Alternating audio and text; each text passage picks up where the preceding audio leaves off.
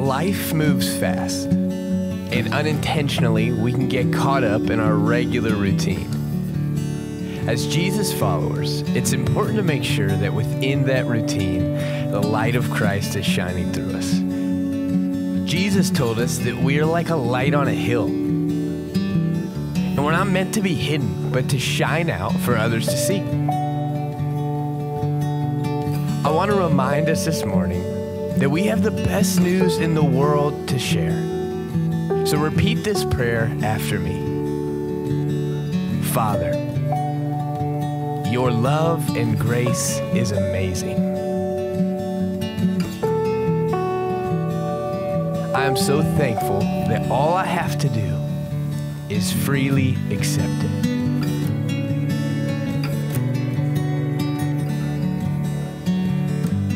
Today, empower me with the Spirit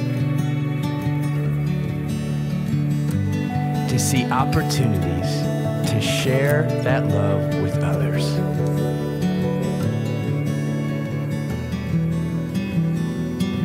Help me to be a light in a dark world. Bring someone to my mind that needs a touch of your love.